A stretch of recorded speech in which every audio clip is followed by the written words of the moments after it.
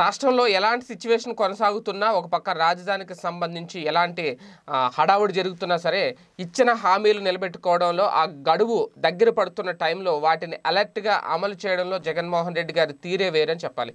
ఇందుకు సంబంధించి అధికారులకు ఆయన ఒక వన్ వీక్ కేవలం వారం రోజులు మాత్రమే గడువు ఇచ్చారు. ఆ గడువు దేనికి అంటే గతంలో ఆయన ఇచ్చిన హామీ నిలబెట్టుకోవడానికి ఎవరికైతే ఇల్లు లేవో సొంత ఇంటి కళను సాకారం చేస్తాము అని ఎప్పుడైతే జగన్ గారు హామీ ఇచ్చారో ఆ కళను సాకారం చేసేందుకు అధికారులకు ఒక్క వారం గడివిచ్చారు. అంటే ఈ వారం రోజుల్లో వీళ్ళు చేయాల్సిన పని ఏంటి అంటే ఆయన ఇచ్చిన మాట ప్రకారం ఉగాది రోజున ఇరవై ఐదు లక్షల ఇళ్ళ పట్టాలు పంపిణీ చేయాలి.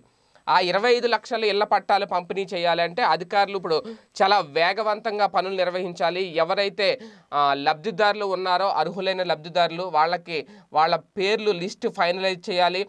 ప్రధానంగా జిల్లాల వారీగా లబ్ధిదారుల సంఖ్య గుర్తించి ఆ గుర్తించిన స్థలాలపై కూడా సమీక్ష జరపాలి. స్థలాలు ఎక్కడెక్కడ ఉన్నాయో ఆ స్థల సమీకరణ అనేది కూడా జరపాలి. స్థలాలు కేటాయించాలి. ప్రధానంగా విశాఖపట్నం అలాగే తూర్పుగోదావరి పశ్చిమ గోదావరి కృష్ణా గుంటూరు జిల్లాల్లో ఇళ్ళ పట్టాల కోసం అధికంగా భూములు సేకరించ సేకరించాల్సిన అవసరం ఉంది. ఎందుకంటే అక్కడి నుంచే ఎక్కువ దరఖాస్తులు వచ్చాయి. ఎక్కువ మంది లబ్ధిదారులు తమకు ఇల్లు కావాలని కోరుకుంటున్నారు. ఇల్లు లేని వాళ్ళు అర్హులైన వాళ్ళు ఎక్కువ అక్కడే ఉన్నారు. అయితే వాళ్ళందరిలో ఎవరు అనర్హులు ఎవరు అర్హులు అనేది గుర్తించి వాళ్ళకు భూములు ఇచ్చేలా అలాగే అస అనువైన భూమిని ఒక్క వారం రోజుల్లో గుర్తించాలని చెప్పి అధికారులకు జగన్ గారు చాలా కీలక ఆదేశాలు జారీ చేశారు. అంటే తక్కువ టైం ఇచ్చారనమాట వన్ వీక్లోనే అది కంప్లీట్ చేయండి. అలాగే లబ్ధిదారులకు కావాల్సిన ఇళ్ళ స్థలాలు మార్ఫింగ్ చేసి ఇంటి పట్టాలను రిజిస్టర్ చేసి ఇవ్వాలి.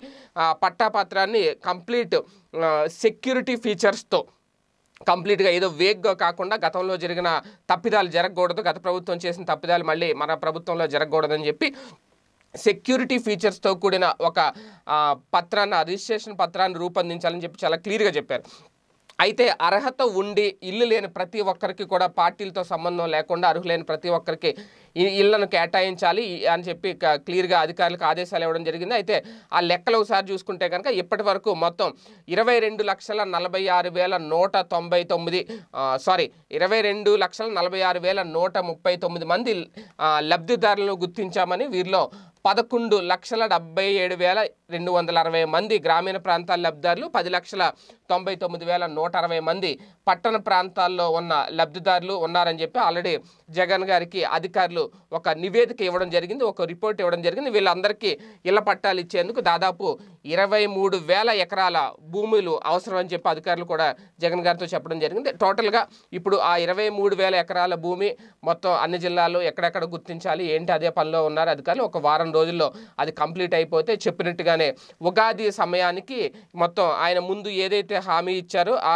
హామీ నెరవేర్చుకోబోతున్నారు. ఉగాది పండుగ రోజున ఇరవై ఐదు లక్షల ఇళ్ళ పట్టాలు పంపిణీ చేపుతారు నిజంగా అది గనక జరిగితే ఇల్లు లేని వాళ్ళందరికీ చాలా గుడ్ న్యూస్. నిజమైన ఉగాది పండుగను ఆ రోజు వాళ్ళందరూ జరుపుకుంటారు. మరి ఈ నిర్ణయం ఎంతవరకు అమల్లోకి వస్తుంది నిజంగా అదే జరిగితే అందరూ నిజంగా నిజంగా హర్షాతిరేకాలు వ్యక్తం చేస్తారు. జగన్ గారు తీసుకున్న నిర్ణయానికి. స్టేట్ మీరెక్కడున్నా ఏం చేస్తున్నా ప్రపంచంలో ఏం జరుగుతుంది జరుగుతుందనేది ఇప్పుడు మీకు పెట్లోకి తెచ్చేసింది one line app. Political movies రాశి ఫలాలు ఆరోగ్య సలహాలు సీరియల్స్ విశేషాలు. ఇలా ఒకటేమిటి? బోలెడన్ని విశేషాలను మినిట్ టు మినిట్ మీకు అందిస్తుంది one line app. So late ఎందుకు? డిస్క్రిప్షన్లో ఉన్న లింక్ ద్వారా వన్ లైన్ యాప్ డౌన్లోడ్ చేసుకోండి. One line it's for every